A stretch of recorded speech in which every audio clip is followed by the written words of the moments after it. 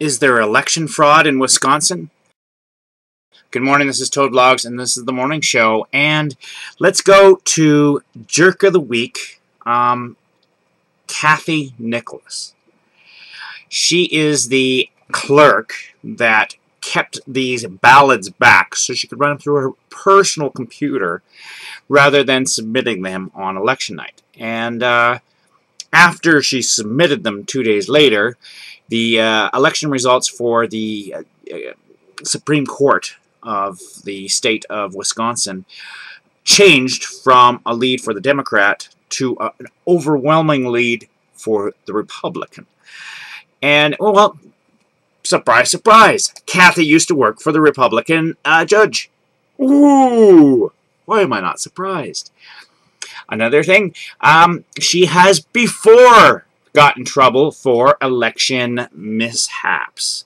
Because apparently she likes to run all the numbers through her own computer because she just can't count for herself. Yeah, um, let me give you a scenario. She takes all the votes. She decides which ones she likes, and she resubmits them. You think that might be a possibility? Hmm.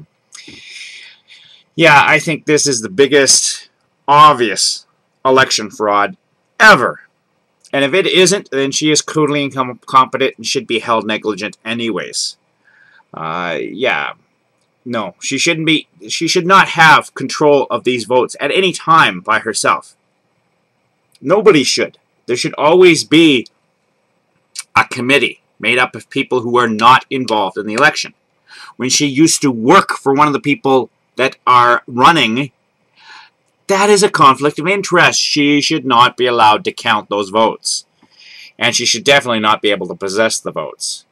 And the fact that she lied um, about the 80-year-old uh, uh, Ramona and um, Kitzinger, she lied about her agreeing with the numbers. Now, what she did is she went up to Ramona and said, hey, count this up.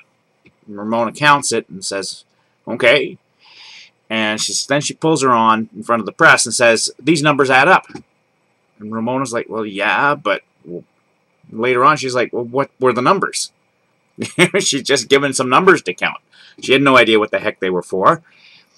Yeah, so uh, this uh, clerk, uh, Kathy Nickolaus, is jerk of the week.